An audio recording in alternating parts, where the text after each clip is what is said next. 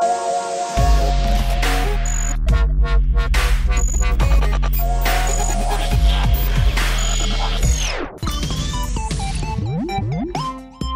giờ chúng ta sẽ đi điểm điểm tiếp theo. Dạ. Nhưng mà trước khi đi á là cho các bạn số điện thoại của một cái anh này là hồi đó là anh đi bây giờ làm sao á là anh kinh nghiệm nhiều lắm. Alo, alo dạ. Có phải anh Adi không ạ?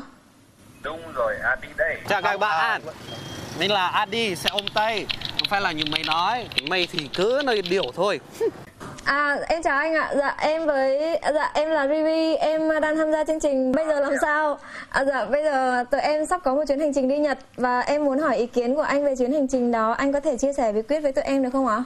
Hình như anh không phải người Việt Nam phải không ạ? Anh là người Ba Lan. Người Ba Lan. Dạ vâng ạ. Vậy anh ơi anh có kinh nghiệm gì chia sẻ với tụi em không ạ? Nha, thế là quan trọng nhất đấy. Dạ. Nhớ là cái xe máy mình phải chăm sóc hơn cả mình tự chăm sóc mình nhá. Dạ vâng ạ. Này. Dạ. Hai là mình này xe cần xăng, còn mình phải có cơm để mình chạy được đấy.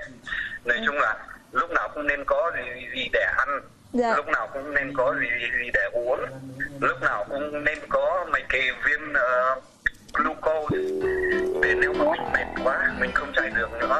nuốt một cái mình vẫn chạy được. À. thêm một tiếng đồng hồ nữa. Cái đó là cái mà xưa bọn anh đi. Anh về mây. Đi là bọn anh thiếu cái đó. À. là nhiều khi thấy vất vả dã man đấy điều tiếp theo nếu mà em đi nhập thì em nên học mấy cái ờ, câu bình thường ấy mấy cái câu xin chào khỏe không? Bệnh viện ở đâu? À, xin chào anh không bệnh viện ở đâu. Dạ vâng anh cảm anh. Dạ dạ vâng ạ. Anh anh em hỏi xíu nha Em muốn hỏi kinh nghiệm về ekip Ekip đối xử với anh có tốt không? à, thì, thì thôi ekip thì tồi tệ nhất có thể mà Ôi ạ, em biết tồi tệ nhất luôn à. trái nó có chỗ ổ kín lửa Ờ hả bây giờ hai người cùng đứng ở đây ai mà đứng ở đây được lâu hơn thì người ấy được quyền áp trước Không bao giờ Không bao giờ Không bao giờ thua ông đâu Phải là người đàn ông đích thực rồi Adi từ từ từ từ Adi chạy lại biết là ông đạo diễn đấy Dạ. em phải nhớ em phải hiểu này là bọn anh toàn là đối xử với nhau rất là tệ nhưng mà chỉ vì là bạn rất thân nên mới đối xử tồi tệ nhất với nhau như thế thôi À, tức là bạn thân vui nhau quá Dạ, thân nhau quá nên tệ. một chút À, cảm ơn anh.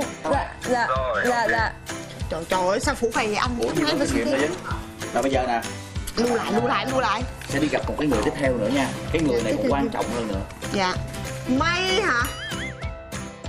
Chào chào mừng các bạn đến với chương trình Bây giờ làm sao? Tôi là May là biên tập của chương trình. Và tôi sẽ bắt đầu một chuyến đi khắp cả nước Việt Nam. Bắt đầu từ nơi này. Vô cùng vớ vẩn vô cùng ngớ ngẩn. Thôi có con gái có con gái con gái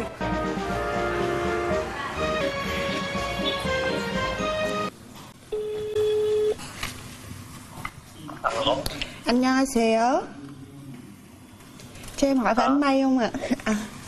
à vâng, May đây Anh May ơi, em là em Ly Nhớ rồi, nhớ rồi à, Anh ơi, em đang tham gia chương trình là Bây giờ làm sao?